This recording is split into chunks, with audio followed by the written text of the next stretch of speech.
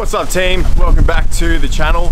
In today's video we're going to be working on a 350Z that I've recently acquired uh, through a bit of a bit of a deal. Um, got a dent puller, we've got our polisher, we're going to give this thing a tidy up. But first I'm going to tell you a little bit about it. So we had a, I think it was a 2003 Discovery 2 which I actually bought because we've had a bit of a weird Tetris thing happening with our cars at the moment. So we tow with a um, with a Discovery 4, which is also our family's daily. So obviously we've got two kids, baby seats. It's a seven seater. We can fit the dog in the back, um, and it can tow the car trailer. I don't know if you can see it in the, in the camera uh, really well. It's super comfortable, right? But it's starting to get a few more Ks on it. It's got like 240 something thousand on it. Um, and it's all good and runs really well, whatever. But I'm just mindful of the fact that you know it's a Land Rover and electronics and whatever.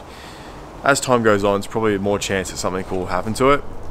So I've been thinking about uh, getting rid of it and sort of maybe changing things up, changing things up with our daily and tow cars and whatever. So the story goes on. We found this Discovery 2. A mate of mine told me about it. Went and checked it out. We bought it. Um, it was really, really tight. It was black. It was a V8, which was pretty cool. Completely standard. Hadn't been off road. So I was thinking, oh yeah, we'll chuck a lift kit in it, make it look like a bit of a rig. I'll keep it as a tow car, so the big car, so you can still put the dog in the back and whatever. And then we'll downsize the family car and buy what I really want is actually an F80 M3. So uh, that hasn't happened yet. Still, it's still just chipping away at a few different things, but um, the Discovery sort of just sat here on the driveway uh, and in the meantime you guys will see in another video but we actually ended up with a Honda S2000 the S2000 we sort of had our fun with it put it up for sale and we did a deal where we ended up swapping it for a Land Rover Defender now the Defender is like it is it's sick. It's like fully kitted out. It's an absolute tank. It could survive the zombie apocalypse. We jump in the Defender and we bugger off up the beach and be left alone forever. Um, it's an absolute weapon. So the Defender's looking like it's going to be the tow car and the vehicle that I use when we have to put the dog in the back or if we want to go camping, which you know it's becoming more and more a part of my life. I really want to get out of the city. Um, and that means we can still buy the M3 or whatever or the smaller car and have the small daily around town. So the black Discovery that we originally had for the tow vehicle sort of became null and void. Uh, so we whacked it up for sale. Anyway, dude rocks up at my house in a 350Z, and I'm like, hmm, wonder what we can do here. Hey man, what do you, you know, he wants to buy the car, the, the Discovery. What are you doing with the Z? You want to do a deal? So we end up doing a deal, and that's how we end up with this. So this car's definitely going to get sold, um, but there's a few little things I want to sort of just tidy up on it before we sort of get to that point. It's got a little bit of a scrape up the side here, and it's got a dent in it, which actually happened the day that he was coming to see my car. Um, he like went over like went around an island or something and hit like a bit of a pole. You guys will see in a sec. Um, there's an issue with the aircon where it doesn't work all the time. It's sort of intermittent. The passenger side door handle doesn't open from the outside. And it just needs a bit of a cleanup. But the good thing about it is it's got like 170,000 Ks. It's got two keys. It's got logbooks. It, I think it was a one owner car before him, so I'm guessing I'm well, I'll be the third owner. Um, and it's actually in generally really really good condition. It's got a brand new clutch, new flywheel, drives really really good. It's um, actually super impressive. I've never driven a 350Z before. Super torquey, by the way. Um, and yeah, so today we're going to be tidying this thing up. And if I get a chance, I'll give you guys a good look at the Defender, but I might save that for another video because it's definitely worth its own video. Um, so yeah, let's get to work on this thing. This is the Z like I said, it's actually in, in really good nick. It's a 2006, uh, so it's a rev up motor, six speed. And aside from that marking on the side, the body's in, I'd say it's in very good condition. There's a few little marks in the paint that I've just started to notice. But really outside of that, it's, uh, it's really, really tidy. So, if we can get this thing sorted, oh, you can sort of see the dip a bit better there, down the bottom. I reckon we're on a winner here. Let's uh, let's set this camera up and we'll try and get some get this dent out. I reckon. So I've never actually used these dent pullers before. I've used like little glue guns and pulled stuff out. But I'm guessing we don't want one that's too small, but not one that's too big either. And I don't really know which way to go about it. But looking at the dent, it's right there. Looks to be about the same size this is. So I reckon we're just going to wing it.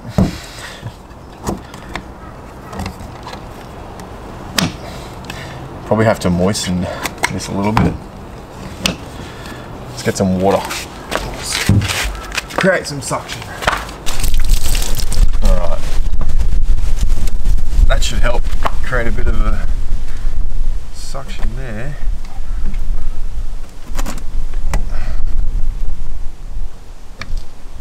It's not even sealing on it, actually. Might be, uh, be no good because it's on a small surface, but if because it's on an uneven surface, sorry, but if this doesn't work, then I will Google it. But I like trying things first. Alright, that's better.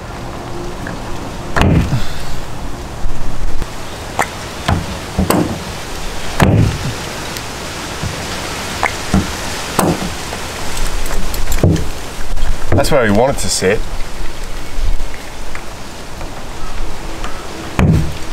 I don't know if you guys will be able to see there.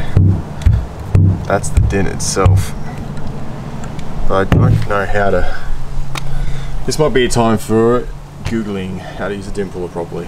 I had a bit of a read on the internet and I think that the metal is actually stretched so it's going to be pretty difficult for me without like heating it up and whatever um, sort of manipulating it a bit more to actually get it back to 100% but I think that it's actually better than it was I think. Who knows? I'm pretty optimistic so yeah.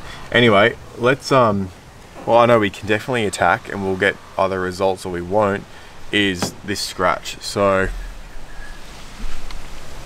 got the big scrape there. There's some marks down the side here. It's actually pretty bad the more I look at it. Um, so I've got the polisher here. I'm going to set it up and then we'll give this thing a go. In the interest of uh, speed and finding out whether I can actually get this paint off or if it's actually gone into it, I'm um, I'm not going to clay bar the car or anything like that. I'm just going to zip over it. But generally, you should wash the car, clay bar it before you uh, re remove the contaminants from the paint before you try and polish it. But let's just find out. Otherwise, to need paint.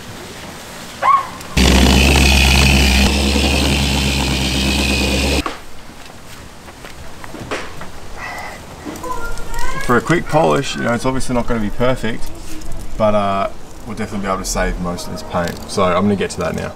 Have a go at this. Obviously it's not perfect, it's far from perfect, but it's a hell of a lot better than it was. And I would go as far as to say, oh, here's my super clean microfiber. I would go as far as to say that it's totally presentable for someone who's not looking for a show car, but just something that they can be proud of. Um, so I'm going to give that a big thumbs up. So I've had a quick look and I think these are held on with double-sided tape.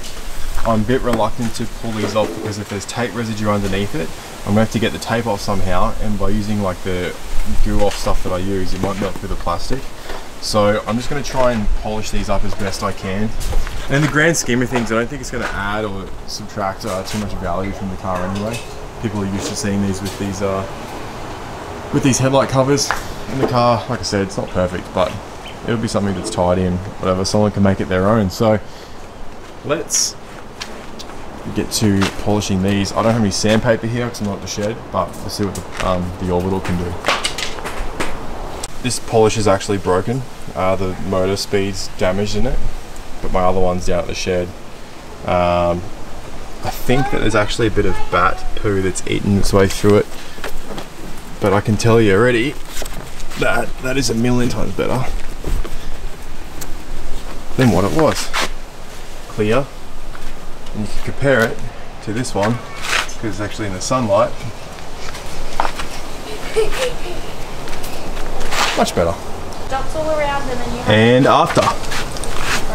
The next issue that I'm facing is the air conditioning in this car.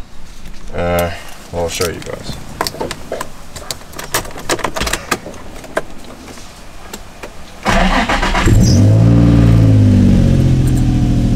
So even with this on,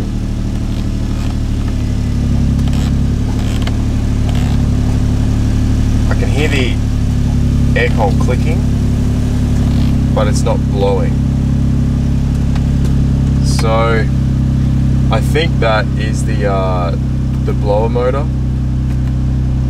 and apparently there's a blower relay, which is actually behind the fuse panel where the normal fuses go. There's also something behind here, but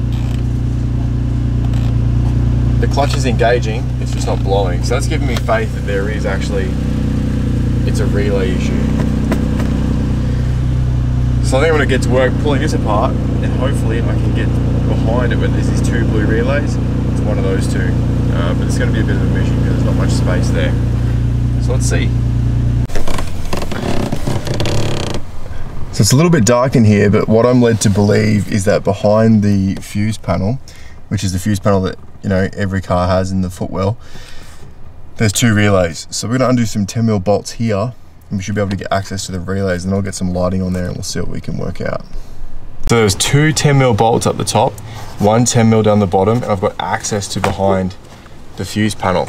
There's two relays in there. One closest to the door apparently is the one for the heater, and there's another identical one next to it. What I'm gonna do to test if this is the problem is switch the one behind it to the one here. The other one's apparently responsible for like the gauge lighting and stuff like that, so I'm not too bothered by that right now. But at least then we'll know whether this is the culprit or not, and we can go and buy a new relay. So I'm gonna switch these over, and then I'll film uh, and actually test it out. So I've switched the relays over. Um, let's see now. I'll start it so it's legit. Let's see if this works.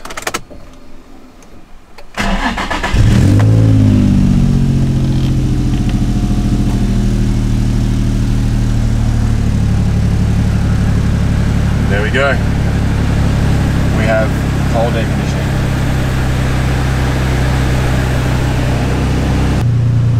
That's fantastic. And it's cold. Sweet. Well, now we know that we need to go buy a relay. And then uh, we can put that all back together. And that's another job out of the way. You already said that. Hey, bro. you're already said. I'm in, I'm in the Z. Yeah. That's the red button now. Is it red? Yeah. I making a video?